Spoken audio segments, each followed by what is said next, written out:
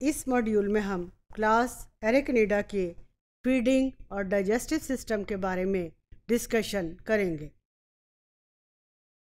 ज़्यादातर एरिकनीड्स का अगर हम मोड ऑफ़ फीडिंग देखें तो एरिकनीड्स जो हैं, ये कार्निवरस हैं।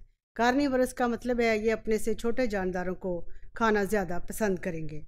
They normally hold small arthropods with their chelicerae और कैलिकरी इज़ एन अपेंडेज। उसके साथ ये स्मॉलर एनिमल्स को एज अ प्रे यूज़ करेंगे, जबकि गट ट्रैक्ट के अंदर मुख्तलिफ़ किस्म के जो एनजाइम्स मौजूद हैं, उस फ़ूड के ऊपर एक्ट करेंगे।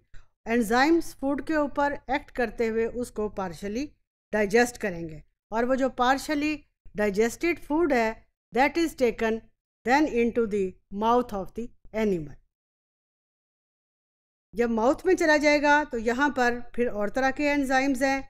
इन एंजाइम्स को हम कहेंगे कि ये एंजाइम्स फर्दर उस फ़ूड के ऊपर एक्ट करेंगे और फर्दर उस फ़ूड के ऊपर एक्ट करते हुए उसकी मज़ीद डाइजेशन करने के बाद फ़ूड जो है, वो माउथ से चला जाएगा गट में। अब जो इसकी गट है एरिकनीड्स की that is divided into three region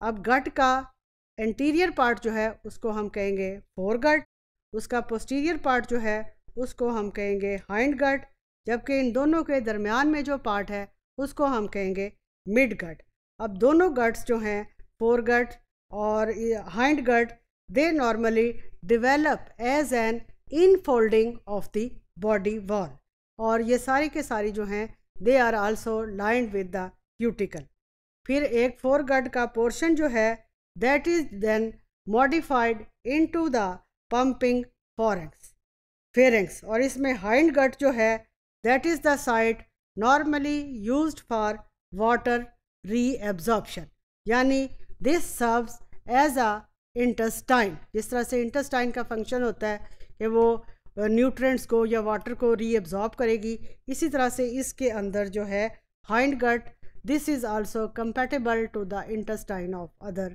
animals अब मिड गट जो है, जैसे कि पहले बताया this is between the fore gut and hind gut it is also lined with secretory and absorptive cells और लेटरल डाइवर्टिकुला जो है दिस विल डाइवर्टिकुला का मतलब है कि ये इसका पोर्शन जो है, उसकी विड्थ या गिर्थ को इंक्रीज़ करेगा।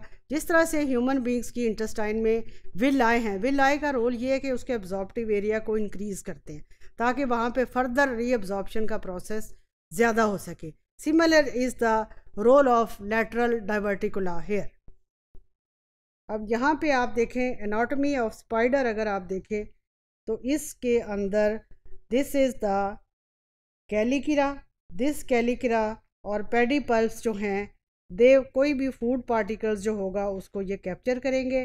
कैप्चर करने के बाद ये उसको माउथ में ले जाएँगे। माउथ में उसके ऊपर डाइजेस्टिव एंजाइम्स एक्ट करेंगे। अब ये इसकी पूरी जो है, ये गट है। फोर गट मिड गट हाइंड गट अब मिड गट जो है, इसको स्टमक का भी नाम दे दिया जाता है और इसकी ये हाइंड गट है। Hind gut will open outside the body to the anus through which waste materials of the body they are excreted out अब इसकी एनाटमी में आप देखें heart is prominent intestine digestive there are several types of digestive gland ये देखें आप, मुख्तलिफ़ किस्म के डाइजेस्टिव ग्लैंड हैं।